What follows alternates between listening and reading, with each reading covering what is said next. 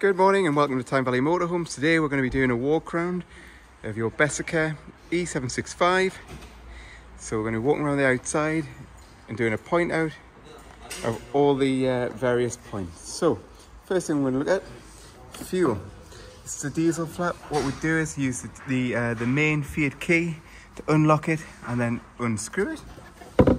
We walk around the vehicle, we've got our storage compartment. The way in which we access the storage compartment is on the side. You've got a little push lock. So we push the button in, that releases the locker. And then again, we use the key to lock both. It doesn't work off central locking. Habitation door. Again, fresh water. So use the key to unlock, press in, turn, and then we can remove the fresh water cap and then simply fill up with a hose pipe.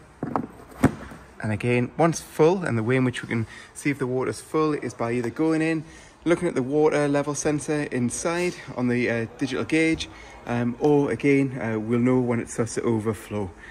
Again, press that in, just make sure it's locked in, and then again, lock it with a key. Top and bottom, we have our uh, fridge vents we have the awning, which we're going to send through a separate video, which shows you how to operate the awning. Our mains hookup. So mains hookup, to remove the hookup, simply press and hold the little blue push button. So push it down, that allows it to retract. And then again, to insert back on, press and just insert in. Once you hear it click, then you know it's locked securely.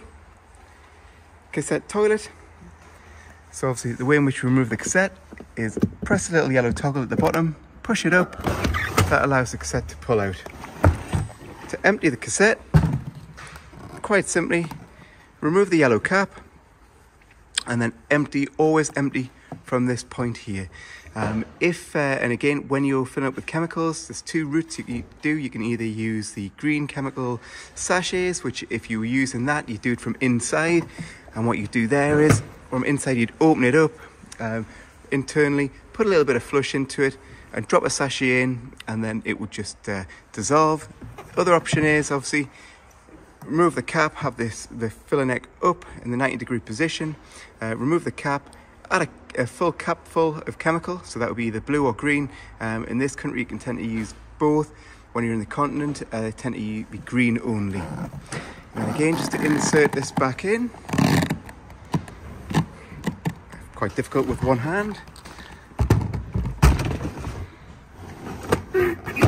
And then once it's clicked in, we know that's secure. This is our flush. So on some motorhomes, they have a separate flush. On this particular one, uh, the flush is all connected, um, oh, well, sorry, is a separate flush. So on some of them, um, it'll take it from your fresh water tank. With this one, you can add an additive. So you can either add your, your pink additive, um, or there's a couple of different colors, but that just keeps everything smelling sweet and then just fill it up with a hose pipe. But be quite careful when you're filling it up because it does fill up quite rapidly. Um, so just keep an eye on it. And then again, just lock this back up with the correct key. To the rear, we've got your reversing camera and we also have the ladder. With the ladder, you've got a separate piece of the ladder, um, which is inside and stored um, on the overcab bed. Uh, that just simply clips on, then gains access to the roof. You've got your reversing camera, and again, you also have your bike rack.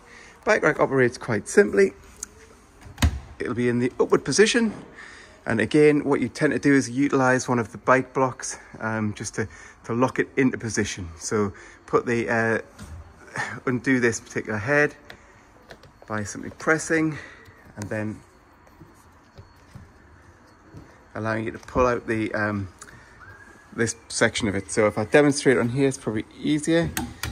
So press in, these come free, and then to, to fix back in, push, and they're in nice and nice and safely. So the bike itself, we lift the bike on, we put these through the spokes of the wheels, and then the bike blocks, sort of attach to the frame or to the seat. Again, you can move the head to ensure that you get a nice uh, secure fixing.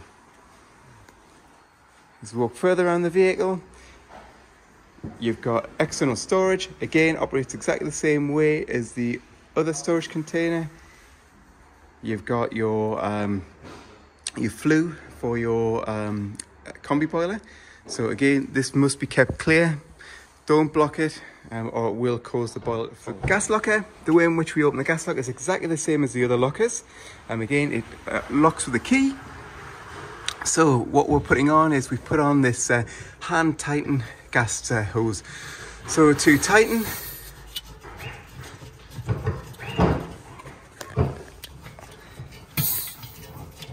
it's anti-clockwise.